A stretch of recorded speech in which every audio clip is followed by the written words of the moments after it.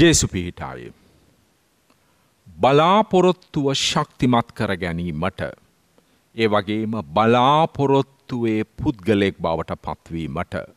ඒ වගේම බලාපොරොත්තුවේ ප්‍රජාවක් බවට පත්වීමට වැදගත් දෙයක් තමයි දෙවියන් වහන්සේ සමග අප පවත්වන ගැඹුරු මිත්‍රත්වය. ද අපට තනි පුද්ගලයන් වශයනුත් බලාපොරොත්තුව කියන ඒ සත්තතාවය වැදගත්. මොකද අපි තනි පුද්ගලයන් වශයනුත් ජීවිතයේ අභියෝගවලට මුහුණදීමට අපගේ අනාගතයට මුහුණදීමට ගැඹුරු බලාපොරොත්තුවක් අවශ්‍යයි. විශේෂයෙන්ම අප ජීවත් වන ලෝකය එන්ඩ එන්ඩ පිරිහීමට ලක් වෙනකොට. සදාචාරමය වශයෙන් අධ්‍යාත්මික වශයෙන් එන්ඩ එන්ඩ පිරිහීමට ඒ වගේම කඩාගන වැටීමකට ලක්වෙනකොට දෙවන් වහන්සේ සමගතියන මිත්‍රත්වය තමයි අපට ගැලවීම ලබා දෙන්නේ.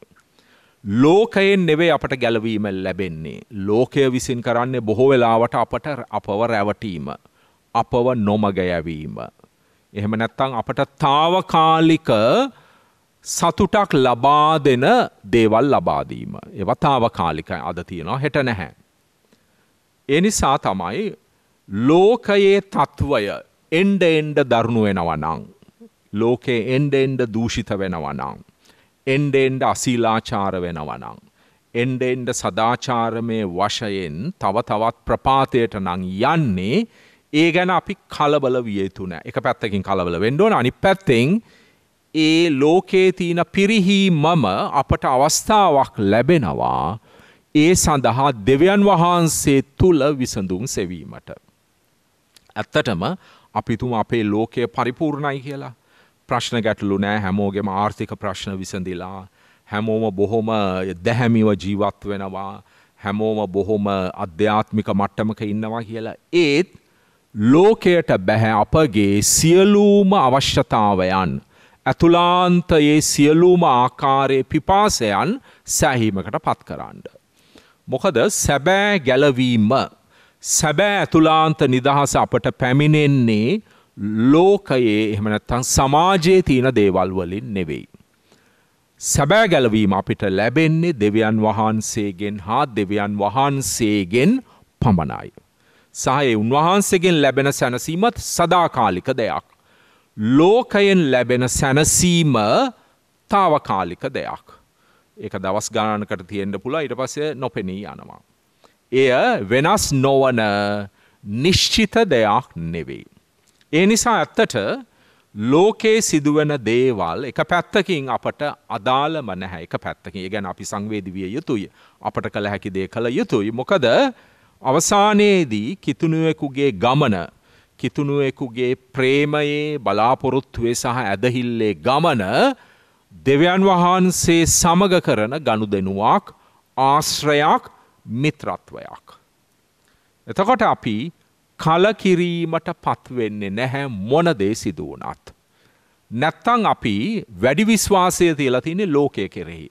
ඒකන ලෝකයේ යම්කිසි ප්‍රශ්නයක් ඇති වුණාම ආර්ථික කඩා වැටීමක් හරි සදාචාරමය ප්‍රශ්නයක් හරි යුද්ධයක් ඇති වුණාම අපි කලකිරීමට පත්වෙනවා නම් ඒකෙන් අදහස් වෙන්නේ අපි වැඩියෙන් විශ්වාසය තියලා තියන්නේ ලෝකය ගැන අනිත් මිනිස්සු ගැන.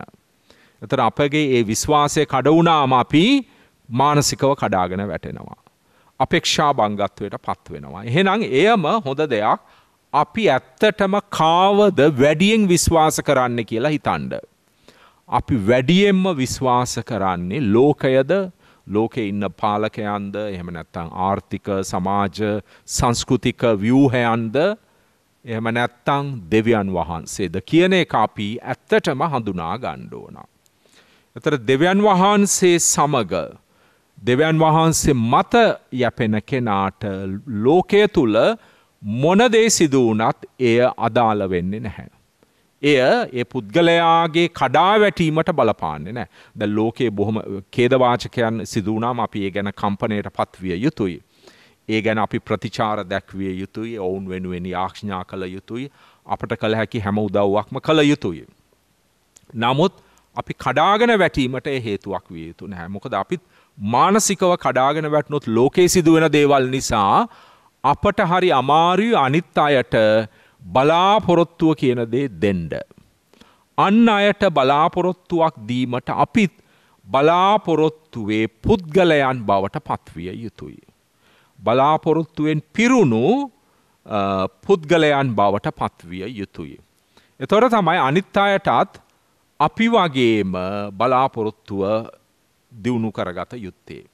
එකන්නේ බලාපොරොත්තුව තියෙන පුද්ගලයාට බලාපොරොත්තුව කියන දේ රිජුව මෙහෙම දෙන්න බෑ අපි පොඩි යම් කිසි ද්‍රව්ව මේ තෑග්ගක් දෙනවා වගේ.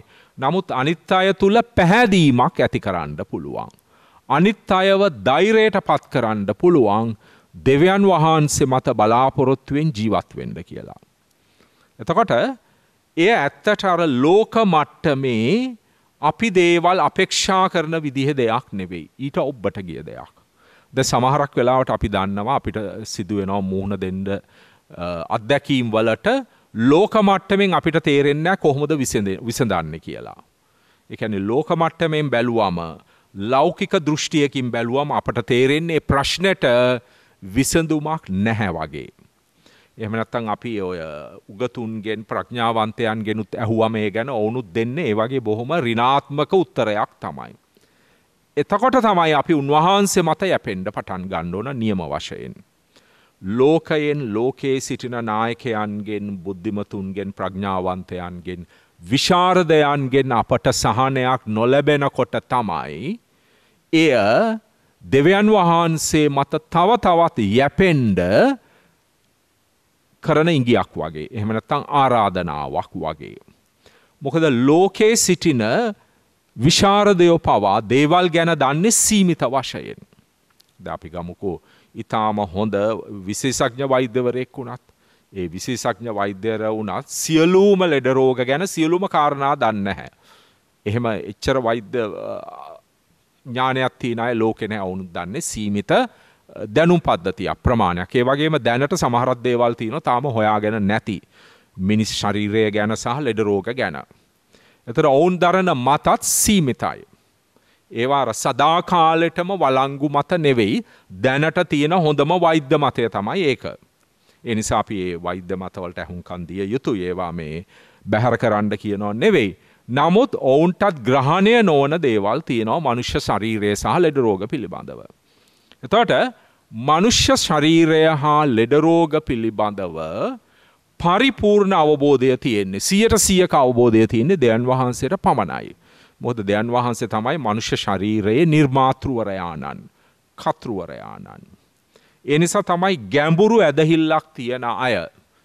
ගැඹුරු බලාපොරොත්තුවක් තියෙන අය වෛද්‍යවරු කිව්වත් ඔබට තව තියෙන්නේ සති දෙකයි සති තුනයි මාසහයයි කියලා ජීවත්වෙන්ඩ අපි දන්නවා සමහර කලාට ඔවුන් ඊට පස්සේ තව අවුරුදු විස්සක් තිහක් ජීවත් වෙලා තියෙනවා. පුදුමාකායකෙන් වෛද්‍යවරුන්ටත් එය තේරුම් ගණඩ බෑ කොහොම දෙක උනේ කියලා. ඔවුන්ගේ ඥානයට එය හස් ග්‍රහණය වෙන්නේ නැහැ. දැතවට එය ඇත්තට පුදුමයට කාරණාවක් නෙවේ එක පැත්තකින් මොකද ඔවුන් දරන මතය සීමිත මතයක්. සීමිත ඒවකට ඔවුන් සතුවතියනේ දැනුම මත ගොඩනගන දෙයක්. ඒ මතය ඒ ලෙඩේ ගැන ඒ මතය නෙවෙයි සීයට සීයකම නිවැරදි මතය. මොකද ඒ රෝගය ගැන සම්පූර්ණ විස්තරේ දන්නේ දෙවියන් වහන්සේ. මොද උන්වහන්සේ තමයි සැබෑ වෛද්‍යවරයාණන්. ඒ නිසා අපි අපේක්ෂා බංගත්වයට පත්විය යුතු නැහැ. කවරුහරි අපිට කිවොත් ඔබට තව සති දෙකයි තියෙන්නේ මාස දෙකයි තියෙන්නේ මාස හයයි තියෙන්නේ කියලා ඒ පුද්ගලයා එහෙම නැත්නම් විශාරදවරය එක කියන්නේ සීමිත අවබෝධයකින්. ඕනෑම ක්ෂේත්‍රයක දැනුම් පද්ධතිය සීමිතයි. මොකද දැනුම කියන්නේ ඕනෑම විද්‍යාත්මක ක්ෂේත්‍රයක දැනුම විකාශනය වන දෙයක්. අලුතින් දේවල් හොයාගෙන යන දෙයක්. දැනට තියෙන විශාරද මතය කියන්නේ දැනට තියෙන සාපේක්ෂ වශයෙන් හොඳම මතය. හැබැයි ඒක නෙවෙයි අර අවසාන මතය. ඕනෑම ක්ෂේත්‍රයක එහෙමයි. අපි ඕකට ඉංග්‍රීසින් කියනවා approximations of truth කියලා.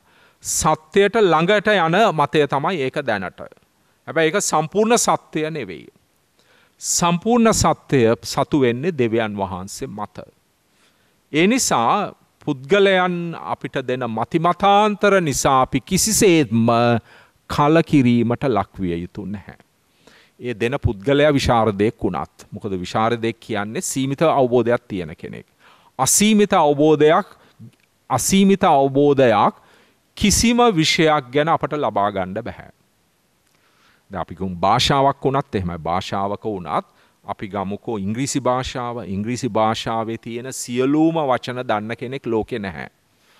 කොතරම්ම ඉංග්‍රීසි විශාරදයෙක් වුණත් සියලූම වචන මොකද හැමදෑම අලුතෙන් වචන එකතු වෙනවා ඉංග්‍රීසි භාෂාවට. ඉංග්‍රීසි භාෂාවය වචන තියනවා මිලියන් ගණනාව ඔය සේරම දන්න කෙනෙක් ලෝකෙ නැහැ. සමහරක්ක ඉන්න ගොඩාක් දන්න අය. එතොට ඕනෑම විෂයක් පිළිබඳව සීයට සීයක අවබෝධයක් ලබන්ඩ බැහැ. ඒක මායාවක් අපි කියන එක ඉලූෂන් එකක් කියලා. විද්‍යාත්මකව. විශාරදයක් කියන්නේ සෑහෙන අවබෝධයක් තියෙන කෙනෙක්.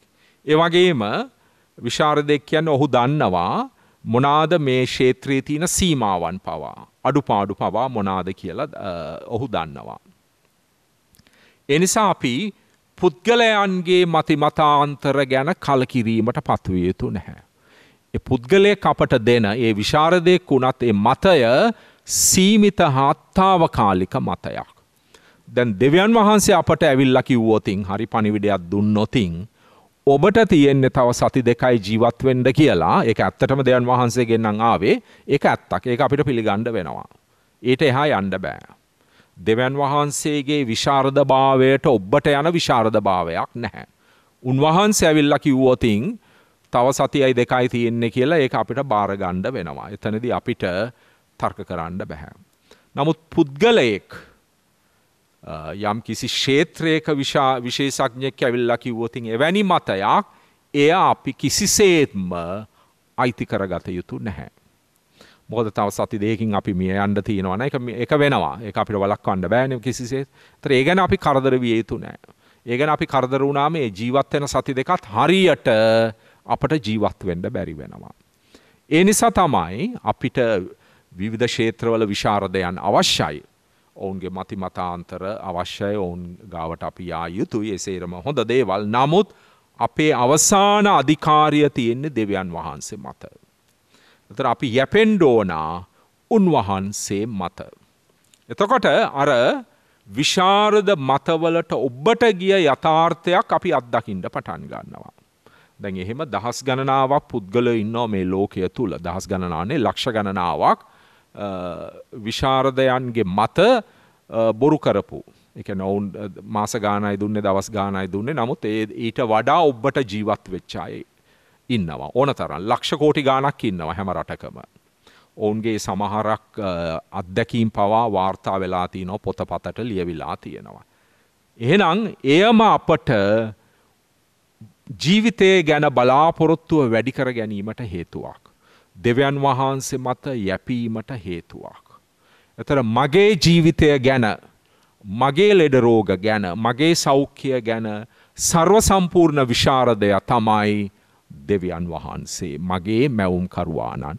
දෙවියන් වහන්සේ මත අපි යැපෙන්ඩ යැපෙන්ඩ අපි කලකිරීමට පත්වෙන්නේ නැහැ. හේතුව බලාපොරොත්තුව අපිව කලකිරීමට පත් කරන්නේ නැහැ කිසිසේත්ම. ජේසු පිහිටාය.